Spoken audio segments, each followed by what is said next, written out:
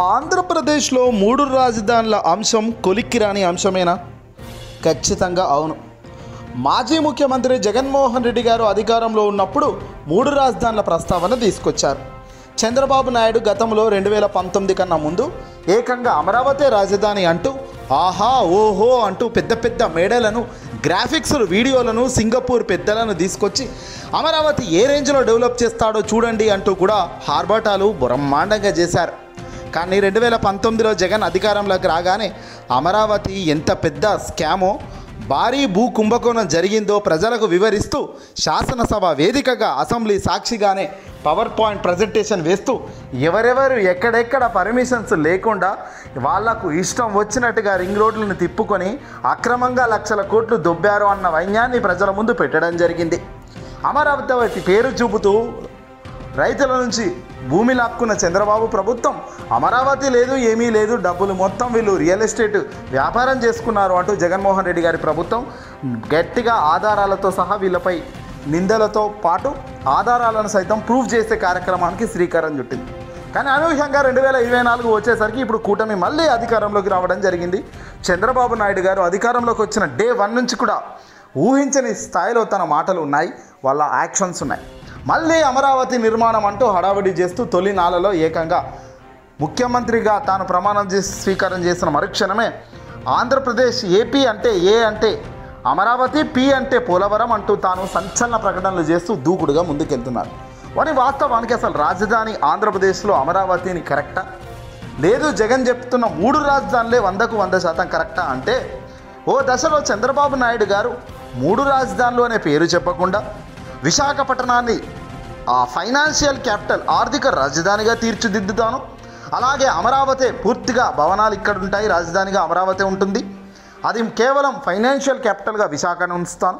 ఇక కర్నూలును మాత్రం ఒక మంచి సిటీగా తీర్చిదిద్దుతాను గొప్ప సిటీగా కర్నూలును తీర్చిదిద్దుతాను అంటూ చంద్రబాబు నాయుడు గారు చెప్పడం జరిగింది. మరి ఇదే కదయ్యా జగన్ చెప్పింది. జగన్ చెప్పింది మూడు రాజధానుల కాన్సెప్ట్ ఈ రకంగానే ఉంది కదయ్యా. దీనికి మీరు మూడు రాజధానులు అన్న టైటిల్ తీసేసి పూర్తిగా రాజధాని అనే టైటిల్ అమరావతికి పెట్టేసి ఇక మీ దందా మీరు చెప్తున్నారు మళ్ళీ మీరు మాట మారుస్తూ కన్ఫ్యూజ్ చేస్తున్నారు కదా. అంతకు మించి ఇక్కడ ఏముంది? జగన్ కూడా అదే చెప్పాడు కదా. అమరావతి కూడా రాజధానిగా ఉంటుంది కానీ పూర్తిగా అమరావతి మొత్తం రాజధాని కాదు. మూడు రాజధానులు ఉంటాయి. కర్నూలు న్యాయ రాజధానిగా ఉంటుంది. విశాఖపట్నం కూడా లెగిస్లేటివ్ క్యాపిటల్గా పరిపాలన రాజధానిగా అది ఉంటుంది. అమరావతి కూడా రాజధానిగానే ఉంటుంది. ఎక్కడ ఏముండాలో ఎక్కడ ఏం చేయాలో అన్నది ఒక ప్రణాళికబద్ధంగా వాళ్ళు చేస్తూ ముందుకెళ్తున్న క్రమంలో కోర్టుకెళ్ళింది ఎవరయ్యా అడ్డుకున్నది ఎవరయ్యా అని ఆరాధిస్తే వెనక్కి తిరిగి చూస్తే మాత్రం మళ్ళీ అక్కడ చంద్రబాబే కనిపిస్తున్నాడు. అధికారం వస్తే గొప్పలు చెప్పడం అదే అధికారం లేకపోతే నిందలు వేయడం కోర్టు వెల్ కోర్టు దగ్గరికి వెళ్ళి కోట్ల రూపంలో అడ్డంగా అడ్డుపడడం. ఇది చంద్రబాబు ఐదేళ్ళుగా చేసింది. ఇప్పుడు తాను అధికారంలో ఉన్నాడు కాబట్టి తాను ఏది చెప్పినా గొప్పే తాను చెప్పిందే సత్యం అన్నట్టుగా తనకు మించి ప్రచారం చేస్తున్న కొన్ని మీడియా సంస్థలు ఉన్నాయి. ప్రతినిత్యం బురద చల్లుతున్నారు ప్రతినిత్యం జగన్పై ఆరోపణలు చేస్తున్నారు. జగన్ ప్యాలెస్లు అంటున్నారు జగన్ అవినీతి చేశాడంటున్నారు. మొదటి రోజు నుంచి ప్రారంభమిస్తే పేరుకే కక్షపూరిత చర్యలు లేవంటున్నారు కానీ బ్యాక్గ్రౌండ్ మొత్తం కక్షపూరితమైన చర్యలే. ప్రతి అడుగులో జగన్ను బద్నాం చేసే కార్యక్రమాలే. మరి ఇవన్నీ చూస్తున్న ప్రజలకు అర్థం కావట్లేదా? ఎవరి హయాంలో ఏం జరుగుతుంది అన్నది అనిపించట్లేదా డెఫినెట్గా సమయం పడుతూ పోతున్న కొద్దీ నిజంగా జగన్ అంటున్నది సత్యమే. పాచికలు దొరుకుతుంటాయి. పాచికల సత్యాలు విరిగిపోతూ దొంగల భాగోతం బయటపడుతున్న క్రమంలో ప్రజానికం నుంచి వచ్చే గొప్ప మైలేజ్ గొప్ప మెజారిటీ మనం అందిపుచ్చుకుంటాము రాబోయే ఐదేళ్ళ కాలంలో ఒక్కొక్క సంవత్సరం వీళ్ళ దందా మొత్తం బయటపడుతుంది అంటారు. అధికారంలో లేకముందు అధికారం రాకముందు మాత్రం ఈ వ్యాలంటీర్ వ్యవస్థ ఏంటి? చిల్లర వ్యవస్థ. ఈ వ్యాలంటీర్ వ్యవస్థ ఏం చేస్తుంది? తెర వెనకాల అమ్మాయిలను డోర్లు కొట్టి వేధిస్తుంది భర్తలు లేనప్పుడు. వాళ్ళ బ్యాక్గ్రౌండ్ తెలుసుకుంటున్నారు మాఫియాలకు ఇస్తున్నారు ఎత్తుకోబోతున్నారు అంటూ చిల్లర కామెంట్స్ చేస్తున్న ఈ పెద్దలు. కట్ కట్ చేస్తే ఎన్నికల ప్రచారాల్లో మాత్రం మీకు ఐదు వేల వేతనం ఏం సరిపోతుంది? పదివేల వేతనం ఇస్తాను వాలంటీర్ వ్యవస్థ రెండు లక్షల అరవై ఏడు వేల మందిని ఉంచుకుంటాను అంటూ హామీ ఇచ్చారు. ఉగాది వేదికగా ఇది ఒక తీపి కబురు అంటూ సంచలన ప్రకటన చేశారు చంద్రబాబు గారు. మరి కట్ చేస్తే మరి కట్ చేస్తే చంద్రబాబు నాయుడు గారు అధికారంలోకి వచ్చారు మాకు పదివేలు కూడా వస్తాయి అన్న ఆనందంలో వ్యాలంటీర్ వ్యవస్థ ఉంటే ఒక్కసారిగా వ్యాలంటీర్ వ్యవస్థను పక్కన పెట్టి పూర్తిగా వ్యాలంటీర్ వ్యవస్థ పేరు కూడా ఎత్తకుండా తొలి క్యాబినెట్లోనే సంచలన నిర్ణయాలు తీసుకుంటూ చంద్రబాబు నాయుడు గారు అసలు ఈ క్యాబినెట్ పేరు కూడా క్యాబినెట్లో కనీసం ఈ వ్యాలంటీర్ల పేరు కూడా ఎత్తలేదు. సచివాలయం సిబ్బంది ఒకటో తారీఖున పెన్షన్లు అందజేస్తారు. ఏడు వేల పెన్షన్లు వెయ్యి రూపాయలు పెంచి మూడు వేల నుంచి నాలుగు వేల పెన్షన్ ఇస్తాం. అలాగే పోయిన నెలది మూడు వేలు కలుపుకుంటే ఏడు వేల పెన్షన్ సచివాలయం ఉద్యోగులే వెళ్ళి ఇంటికి వెళ్ళి ఇస్తారు అంటూ ప్రకటన చేశారు. మరి వీళ్ళ సంగతి ఏంటి? ఈ రెండు లక్షల అరవై ఏడు వేల మంది వాలంటీర్లకు పదివేలు వేతనం ఇస్తాము వీళ్ళని కొనసాగిస్తామన్నారు. మరి ఇందులో రాజీనామా చేసిన వాళ్ళు లక్ష మంది ఉంటారు. మరి వాళ్ళ సంగతి ఏంటి? వీళ్ళ సంగతి ఏంటి అని ప్రశ్నిస్తుంటే మాత్రం సమాధానం లేదు. అధికారం వస్తే ఒకలా అదే అధికారం పోతే మరొకలా. మూడు రాజధానిలో అదే వైఖరి. వాలంటీర్ వ్యవస్థలో అదే వైఖరి. హామీల విషయంలో నోరు తెరవని బాబు పవన్.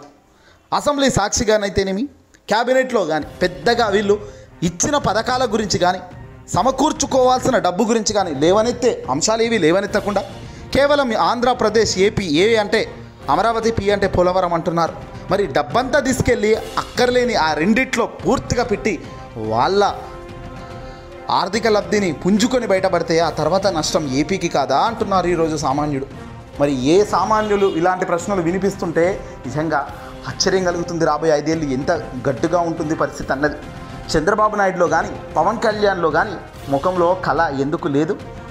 ఓడిపోయినప్పుడు ఉన్నంత వాళ్ళకు యాంగ్జైటీ ఆతృత వాళ్ళ ప్రశ్నించే విధానం అధికారం రాగానే ఎందుకు ఇంత డైవర్ట్గా కుప్పకూలిపోయింది?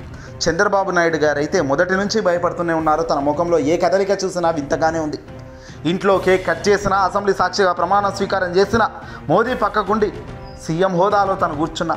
పరిస్థితి ఏదైనా పొజిషన్ ఏదైనా చంద్రబాబులో ఆ వైఖరి ఎందుకు? డిఫరెంట్గా కనబడుతుంది.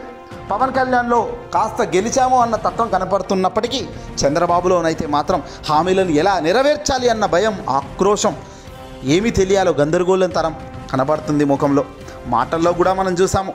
అమలా అమరావతి రాజధాని అంటూ అమరావతికి పరిగెత్తిన ఆయన తీరా అమరావతి దగ్గర ప్రెస్ మీట్ పెట్టి చేతులెత్తేశారు రిపోర్టర్ అడిగిన ప్రశ్నకు సమాధానం చెప్పలేక నువ్వు ఈ ప్లేస్లో ఉంటే ఏం మాట్లాడతావు ఏం చేస్తావు అసలు ఎలా అభివృద్ధి చేస్తావు చెప్పు అని తిరిగి రిపోర్టర్నే ప్రశ్నించే స్థాయికి చంద్రబాబు పతనం అర్థమవుతుంది ఇక్కడ చంద్రబాబు నాయుడు గారు ఏ స్థాయికి వచ్చారన్నది.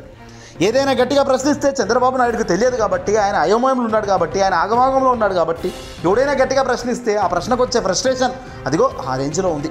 మరి ఆ రేంజ్లో చంద్రబాబు నాయుడు గారు ఉంటే పవన్ కళ్యాణ్కి ఏ ఆలోచన లేదు. మొదటిసారి పవన్ కళ్యాణ్ ఎమ్మెల్యేగానే గెలిచాడు కాబట్టి తనకు తనను చూసో తను సీఎంగా తాను ఉంటేనో లేదంటే తన మంత్రిగా ఉంటారో అని అయితే ప్రజలు అనుకోవడం లేదు. తన ఫ్యాన్ ఫాలోయింగ్ తనకు ఉంది కాబట్టి ఏదో ఓడిపోతున్నాడు ప్రతిసారి కాబట్టి ఈసారి గెలిస్తే ఎలా ఉంటుందో చూద్దాం అనుకున్న అభిమానులకు కాస్త ఊరట వచ్చింది తప్ప తద్వారా ప్రజలకు వచ్చే లాభం ఏంటి అన్నది రాబోయే కాలంలోనే సమాధానం చెప్తుంది కాలం. ఈ కాలం ఇచ్చే సమాధానాలు అంతా ఇంత ఉండవి. కాలం ఇచ్చే సమాధానాలు బ్రహ్మాండంగా ఉంటాయి. రాష్ట్ర వ్యాప్తంగా మూడు కోట్ల మంది ప్రజా తీర్పు. ఇప్పుడు ఏకంగా కూటమి అధికారంలోకి రావడం అయితేనేమి జగన్మోహన్ రెడ్డి గారికి ప్రతిపక్ష హోదా కూడా ఇవ్వకుండా తనను అసెంబ్లీలో ఇబ్బంది పెడుతున్నాడైతేనేమి ఏదేమైనప్పటికీ కూడా నేను అసెంబ్లీకి రావాలంటే ఆ కూర్చున్న స్పీకరే నన్ను చా- వచ్చే దాకా కొట్టాలి అన్న వైన్యం నేను విన్నప్పుడు నేను ఎలా రావాలి అంటూ జగన్ సంచలన లేఖ రాయడం అయితేనేమి ఇవన్నీ చూస్తుంటే ఒకటైతే అర్థమవుతుంది. కక్షపూరిత చర్యలకు వీళ్ళు పోము పోము అంటూనే పోతున్నారు. మంచి చేసే జగన్ ఇంకా మంచి చేస్తూనే పోతున్నాడు. తీరా చివరికి ఎవరికి నష్టపోతారు ఎవరు లాభపోతారు అన్నదే ఇక్కడ చూడాల్సిన అవసరం ఉంది ఆశ్చర్యపోవాల్సిన అవసరం ఉంది. చూద్దాం ఏం జరుగుతుందో.